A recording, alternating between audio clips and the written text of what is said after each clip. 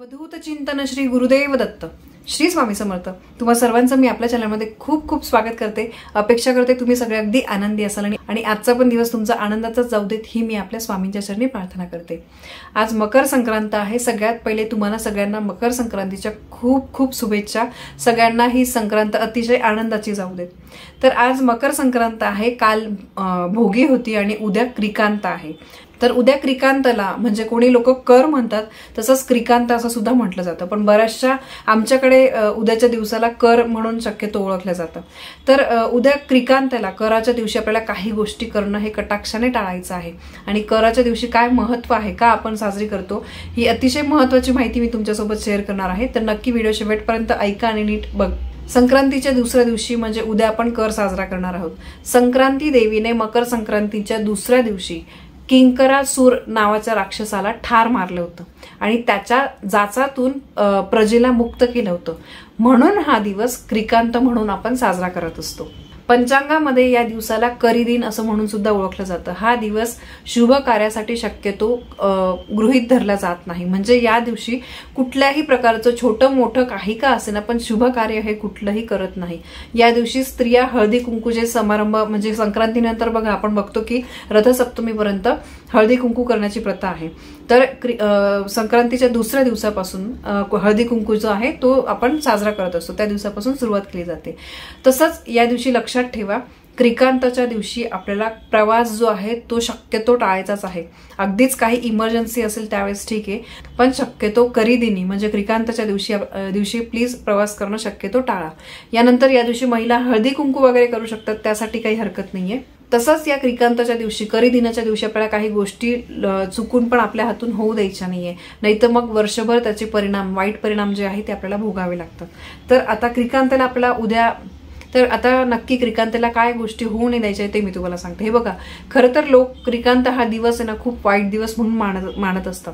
आणि खरंच काहींना तसं अनुभव आलेले असतात म्हणून किंवा आपले जे मोठे आजी बाबा वगैरे आहेत ते सुद्धा आपल्याला सांगतात की क्रिकांताच्या दिवशी काही वाईट बोलायचं नाही भांडायचं नाही वगैरे वगैरे असं. तर खरंच म्हणतात की क्रिकांत हा जो दिवस असतो या दिवशी आपल्याला काही ज्या चांगल्या गोष्टी आहेत त्या ग- करायच्या नसतात. शुभ कार्य कुठलं पण करायचं नसतं. बरेच लोक या दिवशी धिरडे काढत असतात. खाण्यासाठी जे आपण धिरडे करतो एक तर ते गुळाचे करतात गुळाचे आणि गव्हाच्या पिठाचे किंवा तिखट धिरडे सुद्धा केले जातात. तर आता महत्वाचं म्हणजे या दिवशी आपल्याला काय करणं टाळायचं आहे? सगळ्यात महत्वाचं या दिवशी आपल्याला कोणाशीच भांडायचं नाहीये. कोणाशी कटकट पण करू नका. प्लीज मी तुम्हाला विनंती करते. करी दिनाच्या दिवशी क्रिकांताच्या दिवशी काही पण छोटी मोठी कटकट जी असेल ना, आपल्याला जर माहिती आहे की या माणसाशी आपलं काही पटत नाही तर प्लीज ॲटलिस्ट उद्याच्या दिवशी तरी तुम्हाला त्या माणसाशी तुम्ही नाही बोललं तरी हरकत नाही पण त्या दिवशी कटकट होणं टाळा. कारण काय ते मी तुम्हाला सांगते. जर त्या दिवशी आपलं कोणाशी भांडण झालं ना मग आपलं पूर्ण हे जे वर्ष आहे चालू वर्ष जे झालेलं आहे दोन हजार तेवीस हे पूर्ण सारखं मग स- कोणाशी ना कोणाशी आपल्या भांडणे कटकटी ज्या आहे त्या होत असतात. तर त्यामुळे चुकून पण उद्याच्या दिवशी करी दिनाच्या दिवशी कोणाशी भांडू नका कटकटी घालू नका वाद होईल असं तुम्ही पण वागू नका आणि समोरच्या सोबत सोबत सुद्धा असं वागा की जेणेकरून वाग होणार नाही. हे बघा आपण आपल्या मोठ्यांकडून सुद्धा ऐकलं असेल की बाबा आज कर आहे कोणाशी भांडू नको बाबा असं ते म्हणतात. तर यामागे खरंच काहीतरी तथ्य आहे आणि काही लोकांचे अनुभव सुद्धा आहे म्हणून ते आपल्याला सांगत असतात. आणि खरंच जर तुम्हाला वाटत असेल की पुढचं जे हे आपलं चालू वर्ष आहे हे तू आपल्या घरामध्ये या नेहमी सुखशांती असावी कटकटींचं वातावरण होऊ नये तर प्लीज या दिवशी तुम्ही भांडू नका. जर हे बघा जर तुमच्या घरी या दिवशी भांडण झाले ना मग वर्षभर कटकटी वगैरे चालूच राहतील. आणि एकदा जर का ज्या घरामध्ये कटकटींचं भांडणाचं वातावरण असतं तिथे माता लक्ष्मी कधीच प्रसन्न होत नाही. त्या घरामध्ये नेहमी या लक्ष्मी असते. आणि घरात लक्ष्मी असली का त्या घरामध्ये रोगराई आजारपण पैशांचे प्रॉब्लेम कर्जाचे डोंगर शिक्षणामध्ये अडचण याच्या सगळ्या प्रकारच्या अडचणी येतात. मग आपण म्हणतो की मी एवढं देवदेव करते तरी का माझ्या घरात असं होतं? म्हणून काही अमुक एक दिवशी छोटे मोठे काही नियम जर आपण पाळले ना तर नक्कीच त्याचा चांगला परिणाम आपल्या आयुष्यावर आपल्या घरासाठी आप हो चांगला परिणाम होत असतो. जे कटकटी लोक असतील ना घरात तर त्या दिवशी तर मी तुम्हाला सांगेल की त्या दिवसासाठी तरी ॲटलिस्ट त्यांच्यापासून थोडं दूरच राहा. आणि महिलांना पण मी सांगेल. हे बघा आपण आपल्या संसारासाठी सगळं काही करत असतो.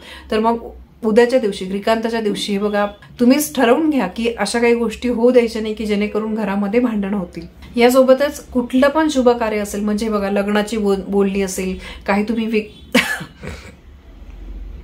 काही तुम्ही विकत घेणार असाल छोटं मोठं का खरेदी होणार? कोणी गाडी घेणार असेल कोणी घर बुक करणार असेल तर प्लीज शेतकरी दिनाच्या दिवशी क्रिकांताच्या दिवशी कुठली पण त्याची बोलणी करू नका किंवा त्याचं टोकन वगैरे देतो आपण. म्हणजे नवीन गोष्टी कुठली पण तुम्ही खरेदी करणं या दिवशी टाळा. एक दिवस थांबल्याने काहीच होत नाही. हे बघा शेवटी श्रद्धेचा भाग आहे. जी माहिती आहे ती मला सांगणं माझं काम आहे. पण शेवटी तुमची श्रद्धा किती आहे? तुम्ही या गोष्टींना किती मानतात हे तुमच्यावर आहे.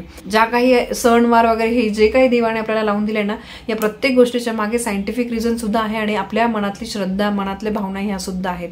तर त्यामुळे म्हणता येणं असं तर काय हरकत आहे? आणि एक दिवस थोडा इकडे तिकडे झाल्याने काहीच हरकत नाही. तुम्हाला जर काही कुठलं शुभ कार्य वगैरे करायचं असेल तर तुम्ही एक दिवस लेट करा पण उद्याच्या दिवशी करू नका.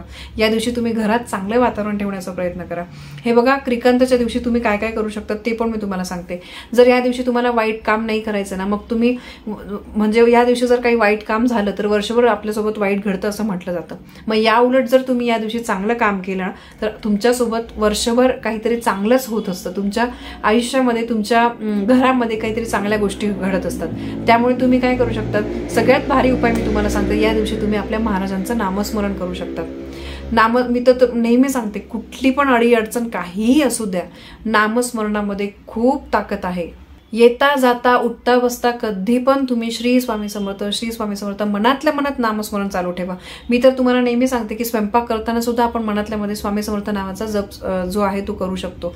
नक्कीच कटकटी होणार नाही बघा आपण जर आपापल्या कामांमध्ये बिझी राहिलो ना तर कोणाशी आपण बोलणार पण नाही जास्त आणि आपण मग कटकटींचा तर प्रश्नच येत नाही. भांडणं मग होणारच नाही. यानंतर तुम्ही या दिवशी स्वामी चरित्र सारामृताचा एक पाठ करू शकता. एक ते एकवीस अध्याय आहे. पूर्ण एकवीस अध्याय वाचायला एक तासच लागतो. तुमच्याकडे जर वेळ असेल ना तर नक्की तुम्ही स्वामी चरित्राचा एक पाठ करा. त्यानंतर तारक मंत्र तुम्ही म्हणा. तारक मंत्र तर सगळ्यात बेस्ट आहे. मी तारक मंत्र नेहमी तुम्हाला सांगत असते. घरात पण तुम्ही युट्यूबवर सारखं लावा. ते इतकं छान आहे ना ऐकायला की लहान मुलं सुद्धा ते गुणगुणत असतात.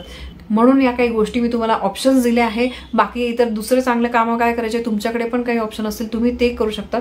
फक्त सांगायचं एवढंच आहे कृपा करून कोणाशी पण कटकटी घालू नका वादावाद भांडणं होतील असं काही आपल्याकडून सुद्धा स्वतःहून तुम्ही करू नका. कारण आपल्याला हे चालू आयुष्य जे आहे चालू वर्ष जे आहे ते आपल्या सुखाचं जावं समाधानाचं जावं यासाठी आपल्याला या दिवशी थोडं काही गोष्टी कंट्रोल करायच्या आहे आपल्याला ना विनाकारण आपल्या मागे मग वर्षभर काहीतरी पणोती लावून नाही घ्यायची. मग कुठेतरी मग आपल्यालाच मग त्यानंतर पस्तावा होतो.